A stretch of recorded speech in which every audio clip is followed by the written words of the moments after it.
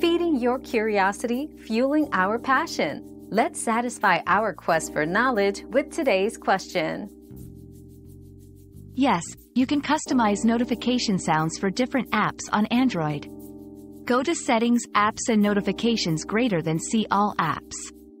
Select the app you want to customize, tap on Notifications, then Notification Categories or Sound. Here, you can choose a specific tone for different types of notifications, allowing you to distinguish alerts easily.